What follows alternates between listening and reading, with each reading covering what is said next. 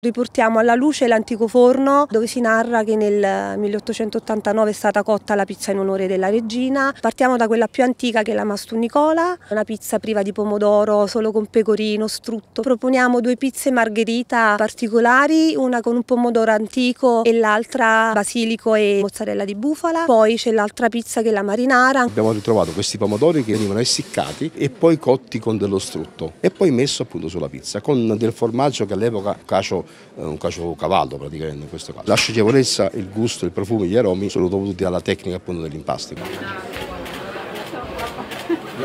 La missione era quella di recupero del luogo, ma sicuramente di creare un indotto lavorativo, anche con un modo diverso di concepire diciamo, l'attività la, ristorativa. Qualunque diciamo, figura che partecipa alla conduzione di questo luogo deve avere sicuramente una conoscenza culturale, deve essere proprio pregnato della bellezza e della storia di questo luogo. Siamo così contenti di aprire questo, eh, questo luogo, di restituirlo alla città e l'accessibilità di questo meraviglioso sito sarà facilitata dall'apertura della Porta dei Ponte Rossi che chiusa dal dopoguerra sarà aperta immediatamente in modo pedonale e poi si potrà accedere anche in macchina. Riportiamo alla luce l'antico forno dove si narra che nel 1889 è stata cotta la pizza in onore della regina. Partiamo da quella più antica che è la Mastun Nicola, che è una pizza priva di pomodoro, solo con pecorino, strutto. Sicuramente è un alimento che dà un carattere molto particolare alla pizza. Proponiamo due pizze margherita particolari, una con un pomodoro antico e l'altra basilico e mozzarella di bufala. Poi c'è l'altra pizza che è la marinara. Si dice che comunque i pescatori pescatori di Santa Lucia venivano accolti dalle loro consorti con questa pizza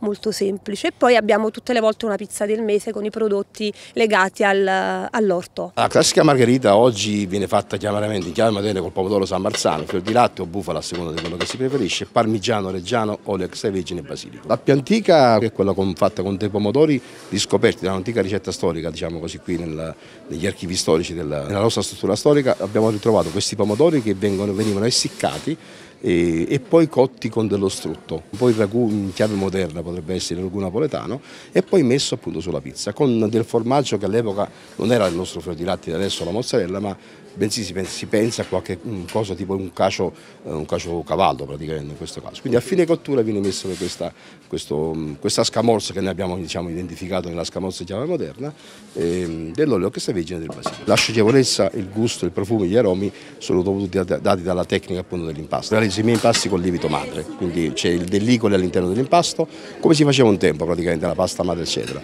Oggi si è un po' ripresa questa, questa idea e tutti i miei impasti vengono realizzati con lievito madre naturale e soprattutto vengono fatti a lievitazione naturale, quindi parliamo di lievitazione ambiente.